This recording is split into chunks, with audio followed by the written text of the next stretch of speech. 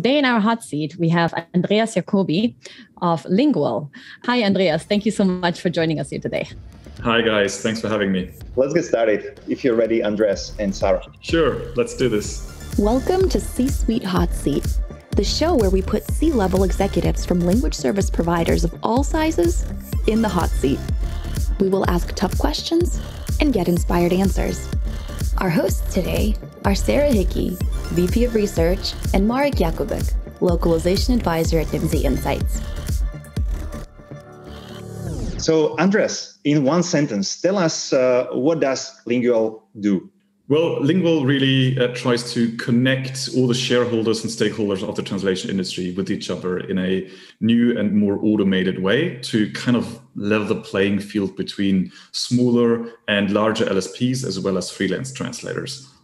What's the first career you dreamed of uh, having as a kid? Really was uh, I wanted to be, be a pilot, uh, so that was kind of like the big dream back then. When you're not working, how do you like to spend your time? Yeah, so the little time that I'm actually not working is spent uh, um, advising and working with uh, startups. Uh, so I'm quite involved in the startup community here in Munich, just helping companies to, to grow and, and just benefit from my experience. Uh, having gone through uh, similar challenges, that's something that I really, really love doing. Uh, outside of that, of course, I love traveling. Unfortunately, that has been a bit more difficult lately. Um, but uh, yeah, uh, traveling is, is really one of my passions, as well as just sports of pretty much any sort and color, uh, from motorsports to skiing to cycling. So you name it.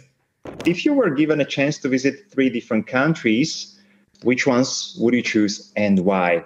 Probably the, the safest bet for me is always uh, Australia. I love Australia. So uh, any chance I get to go to get to Australia, uh, I'll take it. Uh, the second one will be South Africa, and the third one I would probably pick Iceland, simply because I've never been, and I really want to see the landscape there. it's mm. supposed to be absolutely breathtaking. What's the best piece of advice you've ever been given? It's much easier to give advice than to actually follow it yourself. Uh, so that to me, that kind of was one of the biggest learnings. Just be patient and enjoy the ride. So that's one that I'm not particularly good at following, but I think it actually is uh, pretty good advice. I, I, think another one that I uh, I came across one, a year ago or something like that I actually really liked was uh, people tend to overestimate what they can do in a year and underestimate what they can do in 10 years. Mm. So that was one that really stuck with me, and it kind of ties in with this entire theme of trying to be patient, going along the ride, and and kind of like even trying to enjoy the bumpy road. Do you have somebody mentoring you in the in the translation industry? Um, yes, so so uh, I think the, the, the closest person that I have in the translation industry is really my uh, long-term owner, CEO, and uh, friend Jean-Didier Boucaud, who is a, a um, more than 20-year veteran in the translation industry who built up Telelingua and who I've been working with for I think it was more than seven years, very closely. And so if if I don't know what to do, if I, I just need good advice, it's it's him I call first. Obviously, there's there's a couple of more contacts that I'm uh, quite close with and in touch with, and you just discuss things not necessarily only from the localization industry, but also from tech, from legal, you know, all these different aspects of a company. So obviously, you have or at least I have a, good network of people I can call if, if, there's a problem, and just just to get advice, just to get another opinion, or just to tell me how stupid I am. Uh, that's that's that's part of the journey. that, that's a huge asset. That network, I believe. Um, yeah, and, and, to me, it's just really important because you know there's there's network and network, and and to me, the most um, valuable people in the network are those who are not afraid uh, of telling you that you're being stupid or that you're being mm-hmm. wrong uh, and uh, obviously you being able to take that input from them uh, in a constructive way. Andreas, we, I feel like we know you a little bit better now. Uh, know a bit more about who you are, what you're like, what you like to do, what your dreams are. Now we're going to move into the a little bit tougher questions on the business side of things. Um, you were mentioning that you are um, working a lot with startups as well, and that you give them advice um, because you've been in that same situation. So, um, what inspired you to start your company? Really what inspired me to, to start our company was the, the realization at some point that um, automation in the um, localization industry is, is inevitable. Uh, so obviously we've got neural machine translation, but also in terms of uh, processes. And I've basically seen that uh, a lot of LSPs are really struggling in that regard. So for me, it was very clear that this uh, automation is kind of the future of, of the industry. Um, and there's kind of like no way around it. And uh, so basically for me, the idea was to automate everything that is repetitive and that doesn't really add any value to have a person being involved but still keep all these parts where a human really adds value, mm-hmm. uh, that being in customer contact with the actual translation part. And uh, at the same time, this, um, and this is something that I've actually foreseen happening, and this is that we're now seeing in a quite accelerated pace in the industry, is just consolidation. Fewer big players, and basically this gap in terms of reach, in terms of technical capabilities between the really big ones who can basically do it all, but sometimes lack in terms of quality and service. And then you've got the smaller ones that are really good at what they do. They love what they do. And I've, I've, had um, the, the distinct pleasure of meeting so many owners of smaller LSPs that just love what they do and their heart is completely in it, but they're really struggling because they don't really know what an API is and how to set it up. They don't mm-hmm. really have the marketing reach or don't really do sales because everything they do is just deliver great quality and service. And they just basically gain new customers through their network. And they're kind of really struggling trying to compete against the large LSPs. So for me, and this is this was kind of the vision of founding the company, was to combine this platform of automation, uh, neural machine translation engines, and just making things more efficient with mm-hmm. really connecting customers, but also larger LSPs with these small LSPs and freelance translators that otherwise just don't really get seen or don't get discovered. Just connect people that otherwise would not find each other this entire technology part apis automation etc is just completely taken care of by our platform so they can concentrate on what they're best at. What was like your breakthrough moment with that? Did you have one or in your career overall? Um, I think in my career overall, it was was like really, really early days when I was still working at uh, Transperfect in London. Basically, I just figured out that I'm I'm good at closing deals, and uh, so basically I found out that okay, um, if if I go to customers and uh, uh, show them what what is the best way and what is the best process and what are the benefits of it, uh, then um, they actually respond quite positively to it, and uh, so that's one of the big strengths that really carried me through my career so mm-hmm. far. For uh, Lyngual, the biggest aha moment was where uh, we we kind of like built the platform, early days MVP, rough, really rough edges. Mm-hmm. Uh, we had the first translators come in.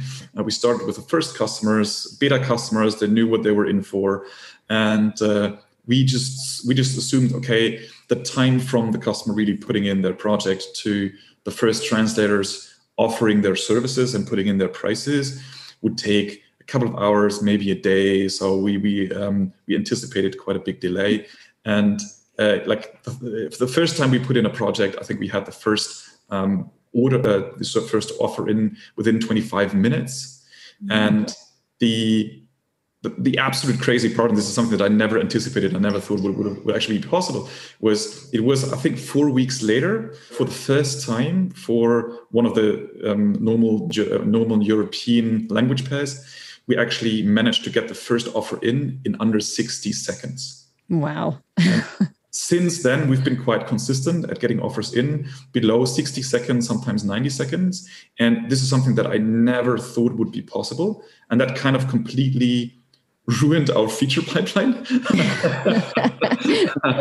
um, but uh, this, this was something that, we just completely did not anticipate. But this was really one of the moments where we thought, wow, okay, there's, mm-hmm. there's something special about this. And there's something that um, really adds value on on both sides.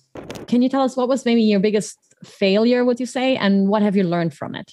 Oh, I mean, there's been so many things that went wrong, and so many things that um, could have gone in a different way. But I, I can't really say that there's like one single biggest failure. And uh, so, from my perspective, and, and you know that in Germany we do not have the best failure uh, culture.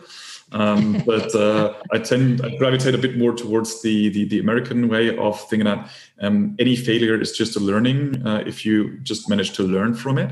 Mm-hmm. So it's it's not a complete waste. Something, especially as a startup, if you don't do that, you already lost. So yeah. failing, it's. Um, I think the founder of um, Waze said that uh, very nicely. Um, startup is basically a journey of failing forward. And, yeah, uh, so that's that's kind of the culture that I'm trying to adopt. Obviously, it's not always that easy. Do you have a pet peeve when it comes to clients? The one thing that is, is, is probably a bit my pet peeve is I like the customers to understand what the process is and how it works, even though sometimes the customer doesn't quite care. Mm-hmm. Do you recall like a, a big challenge that you overcame? So so many big challenges. so so many big challenges. I mean, so I, I think the, the, the biggest challenge that we've had was um, really the the way our, our platform is structured is, is very modern, like API first with modules and so on, and just to really get to the performance that we wanted to have for the platform. So that was quite a struggle, and and as it usually is, like we were struggling for weeks, and all of a sudden, like you change a small thing, and bam, uh, it, everything just completely changed, and all of a sudden, um, the module that was the problem was just 10 times faster than any other module. So now we had the problem that all the other uh, modules had needed to be faster as well. Aside from profitability, which of course as a CEO you have to look at, um, what are the three main things that you spend your time on at work? Customer acquisition and customer retention for sure. The second one would be product uh, just developing, continuing, iterating. And the third third one uh, certainly is people, because as you know, people make the company, and yes. uh, without them, you're nothing. How do you motivate your team, or you know, how do you lead the team? What kind of um, leadership style would you say you have, and how does that motivate your people? It's really about um, approaching people um, on the same level. Yeah? So even when you're talking to a CEO, to an intern, yeah, mm-hmm. so there's there's still a person, and and so this is something that I always try to do throughout my career, is to talk to people just as people. Yeah? So mm-hmm. they have their area of expertise, uh, they know what they're doing, they're trying to do their best, and on the other part, it's really about this this the right um, amount of pushing people and, and really just kind of like challenging them at the same time giving them the necessary support for them to being able to achieve what we're trying to to push them towards and just giving them enough freedom so that they feel like they can actually do something on their own and they can actually provide an added value to the company while at the same time giving them a support structure that doesn't leave them feeling lost to me, and this is this is one key element to how I try to lead and also manage, and that's kind of like the German in me coming through is just just being honest. Yeah? So people yeah. always know um, what is going on. They always know, am I happy? Am I not happy? And but they always know, like even if I'm not happy and I'm I'm criticizing something, it's always constructive criticism, and it's not about them as a person but it's it's just all about how can we do it better. Yeah? And I always say like um, there's this classical thing, the, the blame game. Yeah? So yeah. I always say like I don't care who is to blame. I only care who is responsible. At the end of the day, just trying to a fix it as quickly as possible and as customer friendly as possible, and b making sure that it doesn't happen again. Basically, just acknowledging that and giving them the freedom to also come forward and say that okay I did something wrong, or I think something went wrong here, uh, or I need help without judging them for it, but just being able to support them. And mm-hmm. to this this combination of challenging them, pushing them, supporting them, and making them feel safe and valued, I think to me that's kind of the the, the winning combination. But mm it's an intricate balance. What advice would you give to young entrepreneurs starting their own business in the language industry? Uh, don't overestimate what you can do in a year and don't underestimate mm-hmm. what you can do in 10. Basically, the bottom line being it takes time. Uh, it always takes longer than you than you thought. It's it's really really hard. It's, it takes a lot of time. It takes a lot of dedication. But if you do that and it works, it is worth it. Good. I like this. This is a nice full circle um, wrap up to the conversation. Thank you so much. I really, really enjoyed um, having you in the hot seat. It was my pleasure, really. If anyone else feels like letting off some steam and you are part of the C suite at a company in the language services industry, sign up with us if you dare to sit in our hot seat. Thank you so much for watching and look out for the next episode that will be published as a video on Multilingual TV and as a podcast on the Nimdzi website. We'll see you there.